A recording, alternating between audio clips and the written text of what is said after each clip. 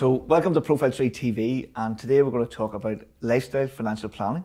So, Paul, thank you very much for coming in and talking to us today. Thank you. So, tell us a little bit about yourself. Okay, so Paul McCoubrey, I'm a partner and independent financial planner at Navigate IFA. We're a financial planning practice based on the Holywood Road in East Belfast. Uh, I've been a financial planner now for 18 years, starting off at companies pr- like Prudential and Northern Bank. And then I decided at 26, 2006 uh, to go out on my own and start working my way up the ladder within the independent financial planning uh, arena.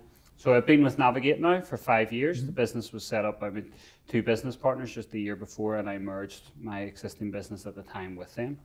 Outside of work, I'm married to Helen. We live in Doak uh, with our two dogs. Uh, hobbies wise, I go to the gym consistently. Uh, enjoy most sports, football being the main one. So, tell us, tell us about Navigate. So, as I say, Navigate was formed in 2014 by my two business partners, Darren Curry and Michael Hamill. Um, we have all we all came, come from a bank background and got very dis, uh, disillusioned with the way the, the bank offer financial advice and some of the obviously the media stories that were going around maybe five six years ago and mis-selling etc i was a partner at another firm and we we have known each other for many years and we just uh, had been in talks and uh, i we decided to merge the two businesses and create Navigate IFA. So as I say, we are a financial planning practice. We would help our clients from buying their first house right the way through to protecting their last house. It could be estate planning, long-term care planning, that sort of thing. We are a business, we have three specific divisions within the business. We have our mortgage business, Navigate Mortgages. We have our wealth business, which I would call our lifestyle financial planning business, which is the main core of what we do. And we also have a specialist business called Na- Navigate Retirement, which is a pension transfer advice business. It's very niche. Uh, we've really only been going for about a year. Uh, but we help clients with some complex pension transfers around final salary, defined benefit schemes.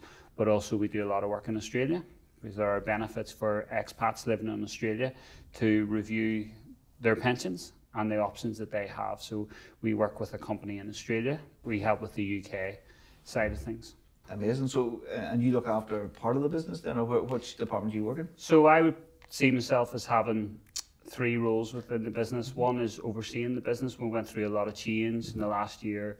Last year and a half, we've nearly doubled in size, up to 11 staff.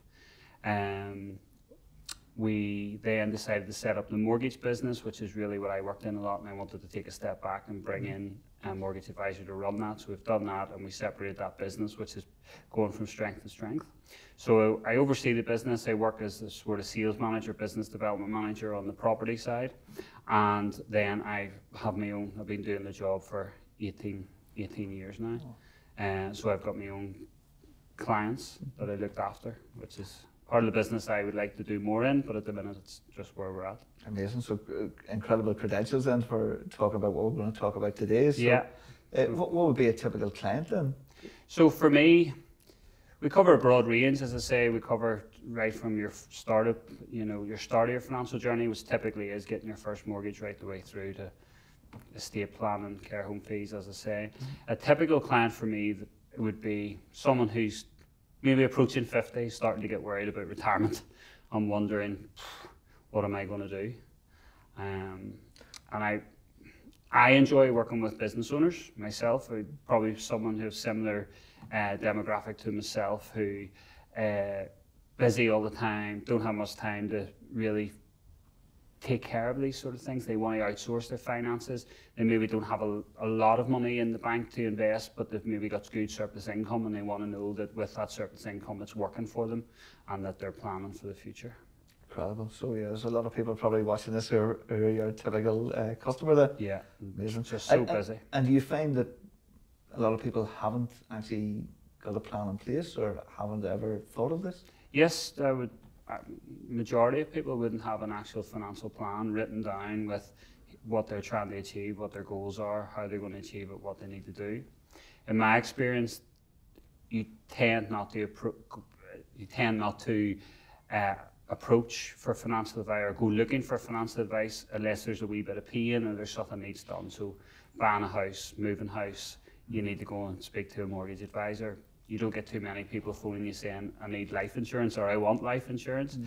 And certainly with the whole pensions, people know they need to do something, but they never get round to doing it. The pain's not strong enough, and that's why I think when you start to get that bit older, and I use 50 as a benchmark, but you start to, oh, oh, there's not much. Someone said to me, a 46 year old said to me recently, he wanted to retire at 60, only 14 Christmases left.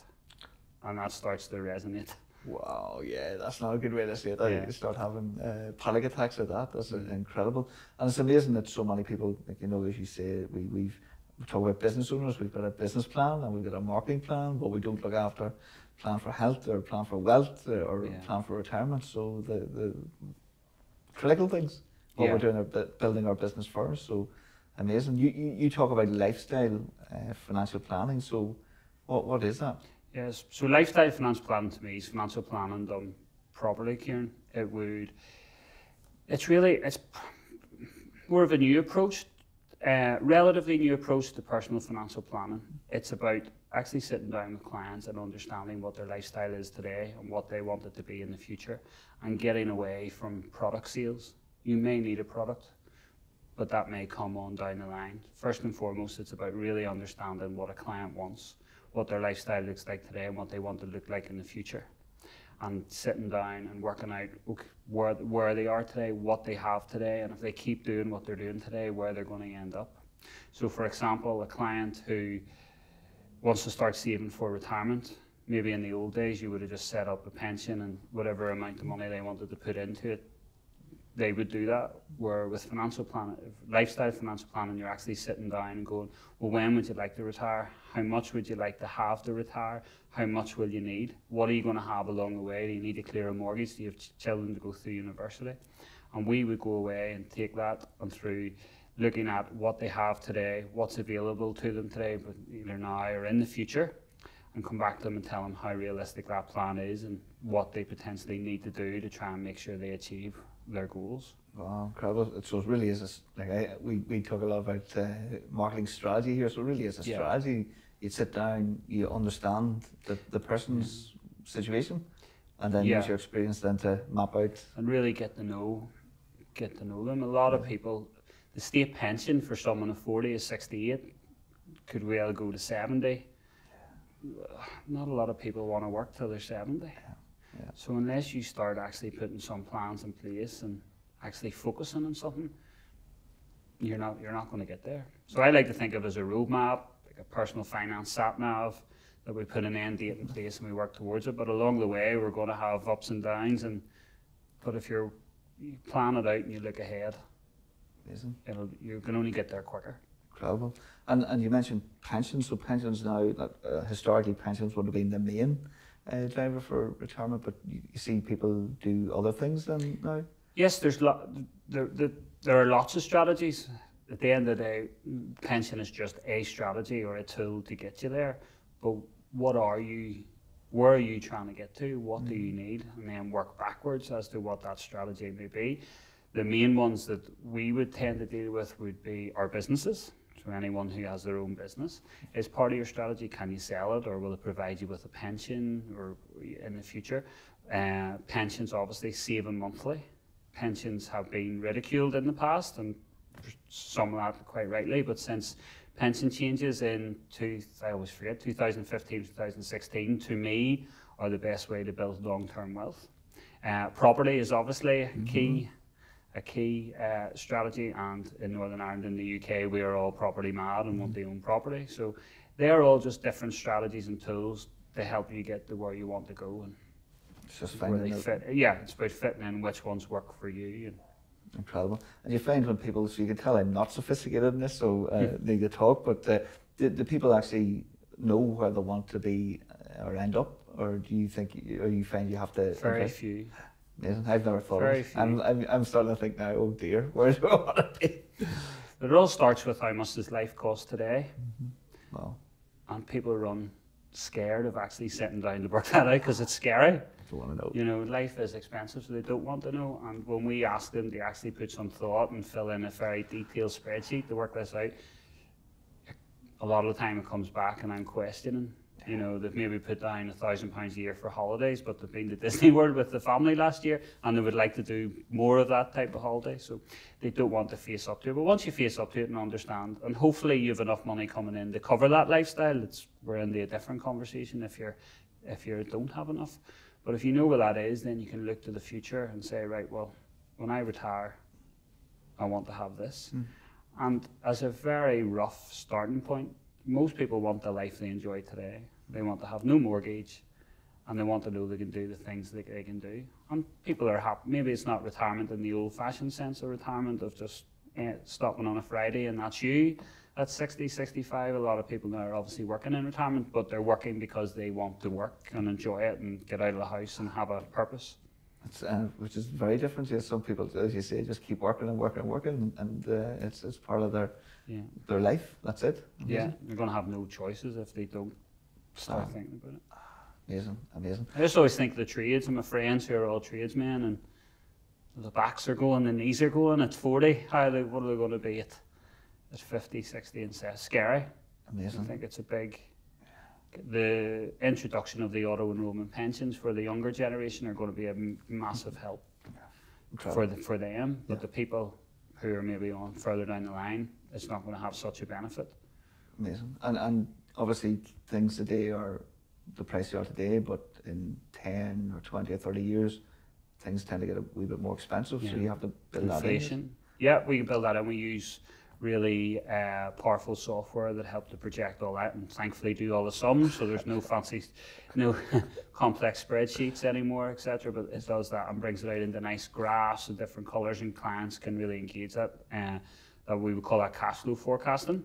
But you're I don't know what the price of anything's going to be in 10 years time so we just have to make certain assumptions and work on today what is the price of that today and then the software will will put a rate in typically over and above what we think it would be and Incredible. average it out Amazing. But no, you're totally right. So I have no idea. So I haven't done this. So I, we'll be talking after for sure. But uh, it's amazing uh, when you start thinking, um, thinking the cost of this year, and then thinking add some inflation in. Like Yeah. wow, okay. So but as Uh, you said earlier you've probably done that exercise with your business because cost continually goes up staff what what's new, in everything? Yeah. new staff pension costs Amazing. rates Yeah, enough, enough.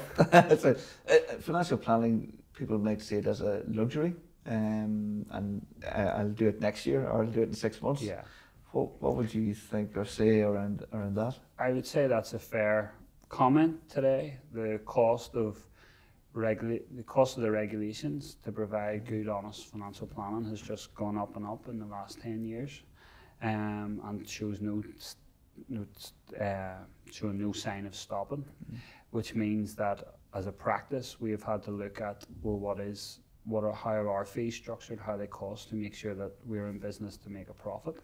So I would say it's a luxury. I would say it's an aspiration, uh, especially for those who are starting out and starting to accumulate and starting to save and and really uh, are looking to build long-term wealth.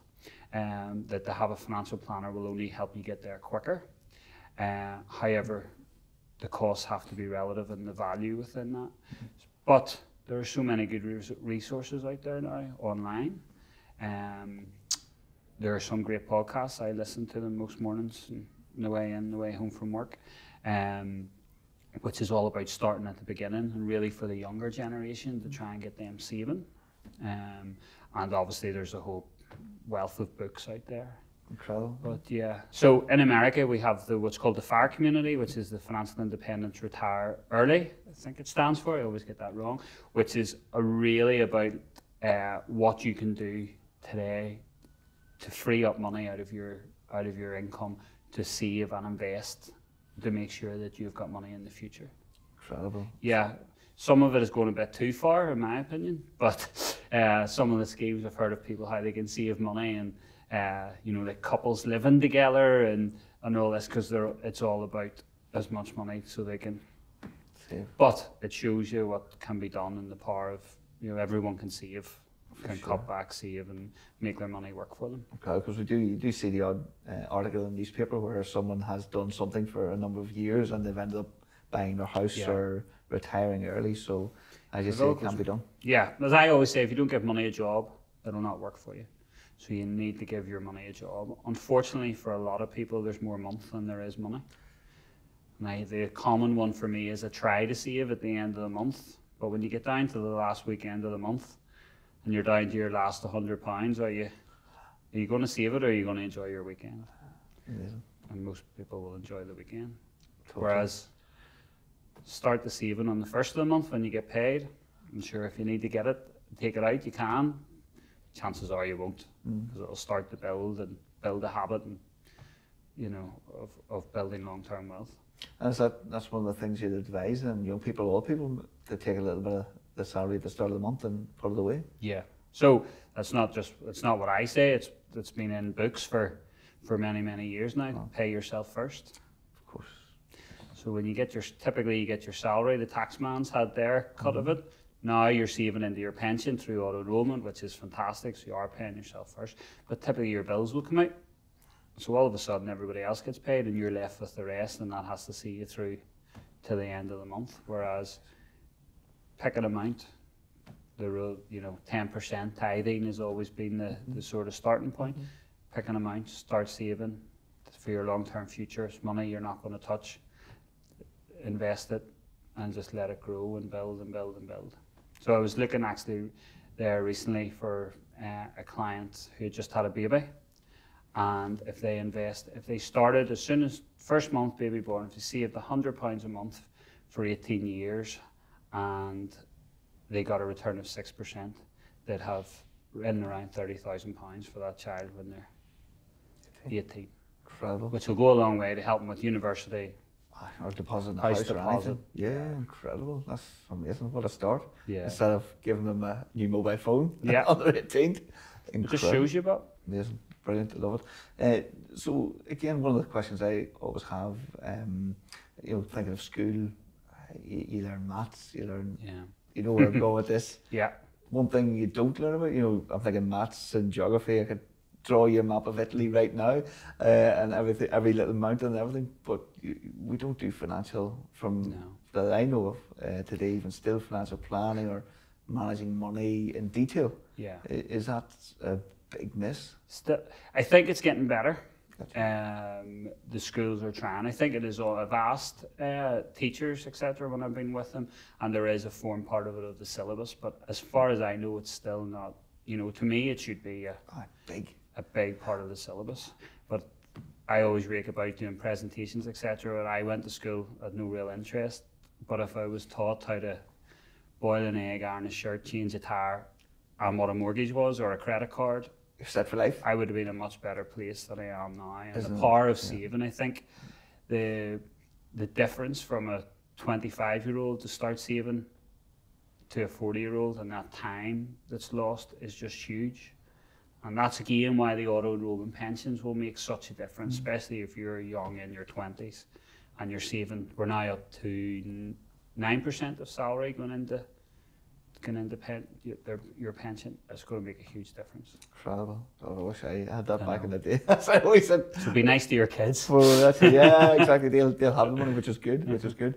Brilliant. So, what, what's what's the future? What's what's next? You think in finance and for yourselves? For Navigate. Yeah, yeah. So for us, at, at this minute in time, we've, as I said before, we've sort of split into three. So we've a lot of work, just really get getting that out there and um, getting a wee bit of exposure um, of who we are and what we do.